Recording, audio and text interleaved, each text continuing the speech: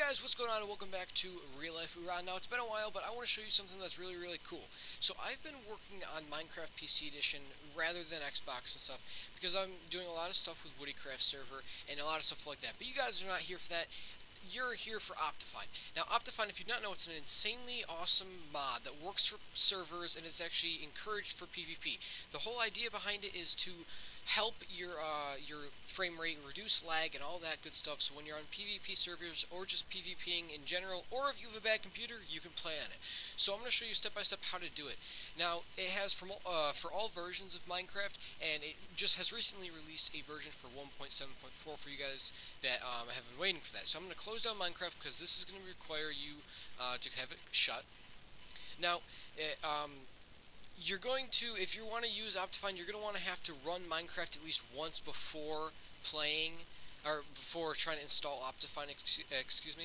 Um, so what we're going to do is we're going to go to this website right here. I'll have the link in the description. I'll have all the links in the description for you guys. And I suggest the Optifine HD uh, 1.7.4. You can select the Ultra down here, but HD, I mean, it's better. Why not get it? Uh, so basically you want to go to any of these links right here. It doesn't really matter. I have not found a difference between any of them. Then just download them.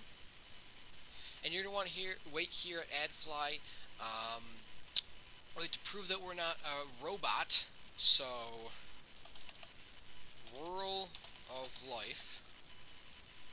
That's weird. And you're going to stay on this page and then refresh it because sometimes cookies is not enabled. Um, I've ran into that problem a few times. And wait over here in the top right hand corner. You guys know how AdFly works, I'd imagine. Just wait for those five seconds for it to download. And then skip ad. And then you'll see all these ads, but the link to actually download it is right here in the middle. You don't want to hit the JZip or any of these stuff that could contain viruses. So you want to click that, and it will download. It says if you, it asks you if you want to keep it. You want to uh, hit keep. I promise you, it's not a virus and stuff, of course.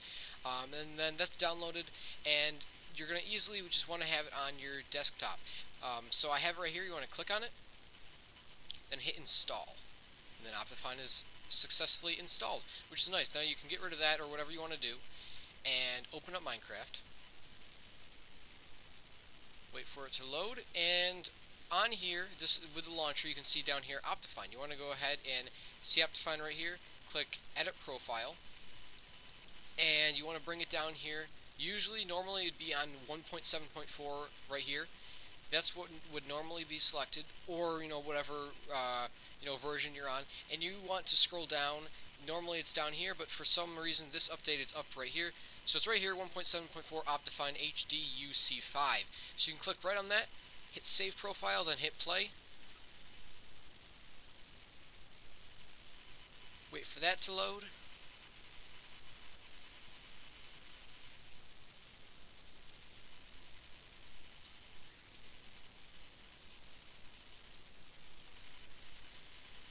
Now you you see you're on 1.7.4. You want to hit, you know, go to your server or whatever. I'm choosing Woodycraft right now. And you're on here, and you can see that Optifine is installed and stuff. You can hit R, because R is the zoom key, is what I have it set to and everything. Optifine is installed, and that is the update for it.